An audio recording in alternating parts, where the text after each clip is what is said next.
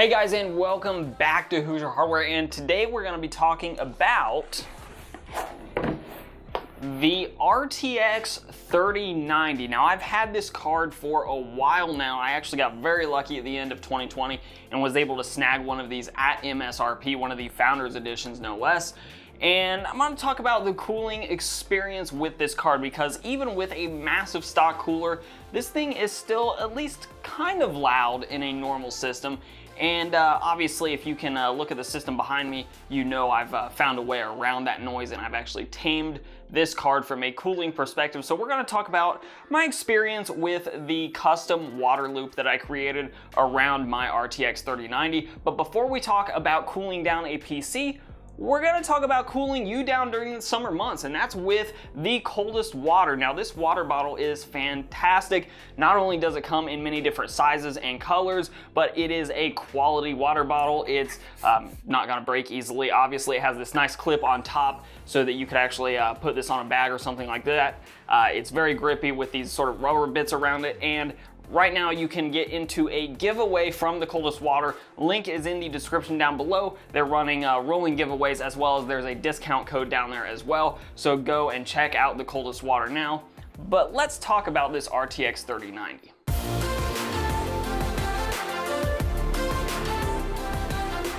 All right, so for those of you that don't realize, the RTX 3090 has a massive cooler on it. And by the way, actually uh, definitely love their unboxing experience here. Oh boy. All right, here we go. Oh, that's gonna fall out. Just kind of clear the way here. So this is the RTX 3090 cooler. Now this thing is uh, a little bit controversial, at least when it first launched with these fans sort of being on opposite sides of the card and the card actually passing air completely through it, uh, through this fan in particular. This other fan that's uh, near the uh, side of the PC just pushes air out the back of the PC. But this is a comically large cooler for an air-cooled card. To give you a little bit of reference, this GTX 660, it's about the size of a lot of GTX uh, 3060s actually right now from EVGA as well. Very comparable in that size. Actually, I'll turn it around here so you can kind of get a better look at the size comparison here. But yeah, this 3090 is ridiculously large. In fact, I have my scale here so that we can take a look at just how heavy the cooler by itself is because keep in mind, the actual card is no longer in here. The, the RTX 3090 is in my system behind me with the custom water loop. So I do want to take a look at the actual weight of this thing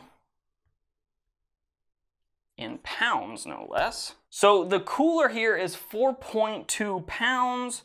For those of you that prefer kilograms, that's 1.9 kilograms. This thing is huge, almost two kilograms in mostly metal to keep the 3090 cool. So, we've established here that it, it, takes a lot of cooling to cool the RTX 3090, and the best, or at least the uh, easiest way to actually keep this card tame aside from leaving it alone in its stock air cooler, which is probably going to be a little bit louder, is to create a custom water loop around it. Now, I used almost all of Corsair's water cooling components for simplicity's sake because when you're buying from one company like Corsair, you know that everything's just kind of kind of play well together. And I will link several of these things down in the description down below in case you're interested in creating your own custom loop.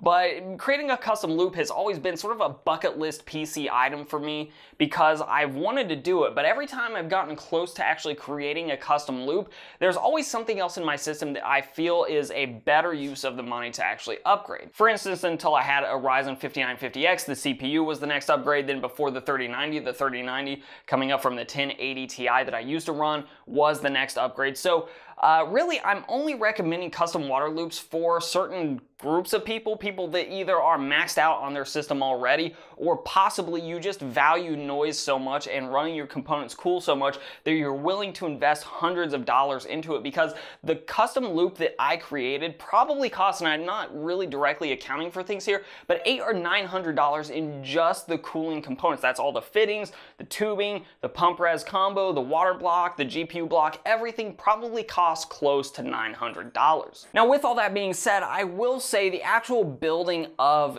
this particular custom loop was fairly simplified because of a couple of different things out there. First and foremost, there's more information out for water cooling PCs now than ever before through the efforts of people like Jay from JayzTwoCents and other YouTube channels that look at custom water cooling and give tutorials on it.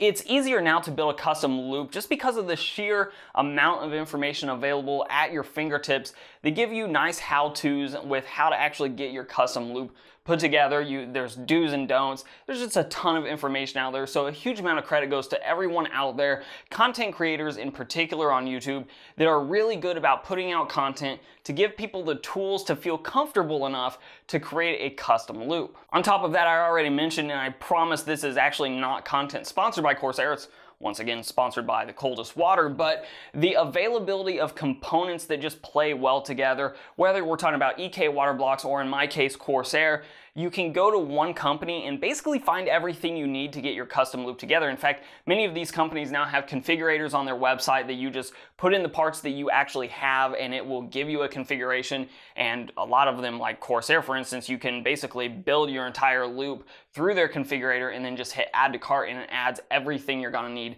to the cart. So the tools available not just with information online, but also the tools from manufacturers of components for these custom loops is just top notch right now and it makes it very very easy if you have the funds available to get the components together to actually build a custom loop. Now with all that said the other thing that I would highly recommend you do if you're considering a custom loop is get plenty of fittings of various angles because one of the things that I found when I was putting together my loop I was making some adjustments on the fly. Now this Phanteks case that I'm working in also linked down below in case you're interested in this case, is fantastic because I can put two 360 millimeter radiators in there. In fact, one of them, the one on the front, is actually a thick radiator. The problem was there just wasn't quite enough space to put both of the fittings where I wanted them for the inlets and the outlets with radiators, so I did have to rotate the front radiator around to have the fittings, the inlet and the outlet at the bottom instead of at the top. It was a whole thing, but because I had so many fitting extensions,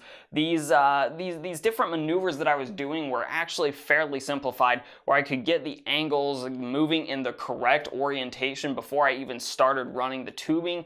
Uh, my brother, for instance, just built a loop somewhat recently and it, it's it's not the looker that you would hope necessarily from a custom loop, but that's because he didn't have the 45 degree uh, fitting extensions or the 90 degree extensions either, so he had to make all of his runs directly out of the inlets and outlets of the various, uh, the pumps, the water blocks, and the rads. So his runs were just a little bit more complicated. So if you have those fitting extensions that allow you to make those 45 degree or 90 degree turns, it just makes your life a lot easier when it comes to building one of these custom loops. So I guess finally that brings us to the performance and was it worth it for me? And for my part, for my main system, because I do a lot of gaming, but also a lot of production work with these videos on my main rig, it was absolutely worth it because the system is extremely quiet. Now, I don't really have a sound sort of test here for you because it's really hard to capture that sort of thing with a microphone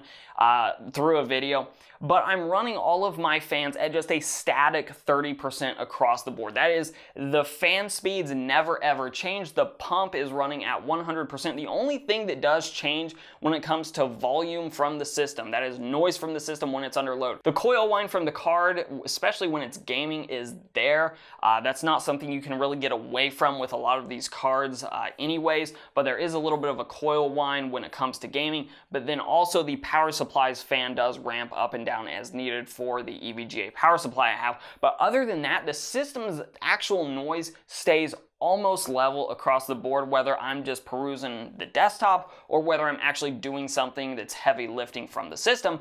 And as for actually taming the 3090 itself, was I able to cool this thing down? Well, I'll just give you a little bit of a uh, piece of the Heaven benchmark run that I ran just to let this thing run on loop to see how hot the GPU would get.